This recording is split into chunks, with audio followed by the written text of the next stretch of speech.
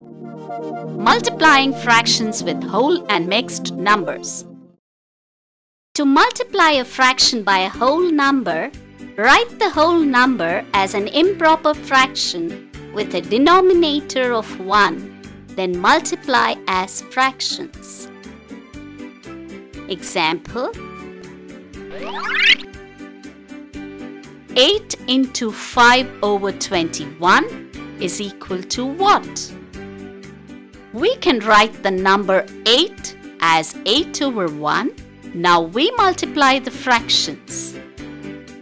8 over 1 into 5 over 21 equals to 8 into 5 over 1 into 21 that equals to 40 over 21. Let's look at another example. 3 fourth into 1 1 eighth. This is very easy. Just convert 1 1 eighth into an improper fraction. 1 1 eighth is equal to 9 8. 3 fourths into 9 eighths is 3 into 9 over 4 into 8. And the answer is 27 over 32. To multiply mixed numbers, convert them to improper fractions and multiply.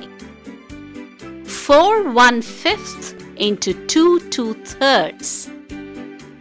Converting to improper fractions, we get 4 1 fifth is equal to 21 over 5 and 2 2 thirds is equal to 8 over 3.